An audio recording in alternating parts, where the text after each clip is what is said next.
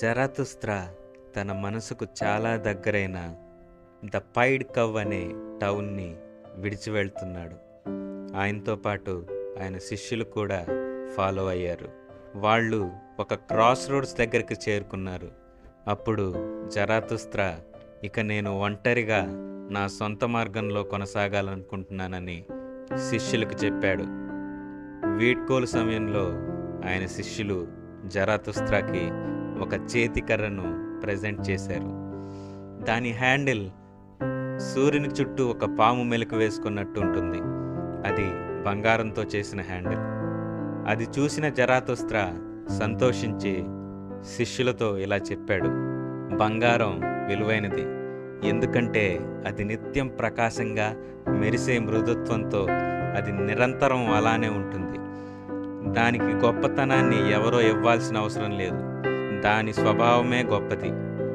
బంగారం అత్యున్నతమైన ధర్మానికి ప్రతీక. ధర్మం కూడా బంగారంలా నిత్యం గొప్ప స్వభావం కలిగి ఉంటుంది. అలాగే ప్రేమను పంచే వ్యక్తి అన్ని విషయాలను తన వైపుకు వచ్చేలా చేసుకుంటాడు. అప్పుడే అవి తిరిగి అందరిపైకి ప్రేమ బహుమానాలుగా ప్రవహిస్తాయి. ఇది పవిత్రమైన స్వార్థం. దీనికి విరుద్ధం నీచపు స్వార్థం. వేరే వారి దగ్గర నుంచి దౌర్జన్యంగా అన్నిటినీ లాక్కునే స్వార్థం. ఇది వీక్నెస్కి ఇండికేషన్ జరాతుస్త్రా అండ్ ఆయన శిష్యులు వీక్నెస్కి విరుద్ధమైన సూపర్ మ్యాన్ స్థాయికి అంచెలంచెలుగా ఎదిగే ప్రయత్నం చేస్తున్నారు. మన శరీరం చరిత్ర వల్ల అడ్వాన్స్ అవుతుంది. ఆత్మ శరీరానికి మెసెంజర్ లాంటిది. ఆత్మ శరీరానికి తోడు. ఆత్మ లేని శరీరానికి ప్రాణం ఉండదు. ఉన్నతమైన శరీరం కలవాడు అన్ని విషయాలకు క్రియేటర్గా ఎవాల్యుయేటర్గా ఉండాలి అనుకుంటాడు. మన విల్ పవర్ అన్ని విషయాలను కమాండ్ చేయాలని కోరుకున్నప్పుడు ధర్మం పుడుతుంది. ఇది కొంచెం మంచి అలాగే ఇది చెడు కూడా. జరాతుస్త్ర ప్రకారం ఇది essence of power. It's a golden sun. Zarathustra ప్రేమపూర్వకంగా తన శిష్యులను మీరు భూమి పట్ల విధేయులుగా ఉండాలి. భూమి పట్ల ప్రేమను చూపాలని చెప్పాడు. ధర్మం ఇప్పటికే చాలా ఎగిరిపోయింది. ధర్మాన్ని పెంపొందించే మార్గాలు మనల్ని హీల్ చేసే మార్గాలు భూమిపై చాలా ఉన్నాయి.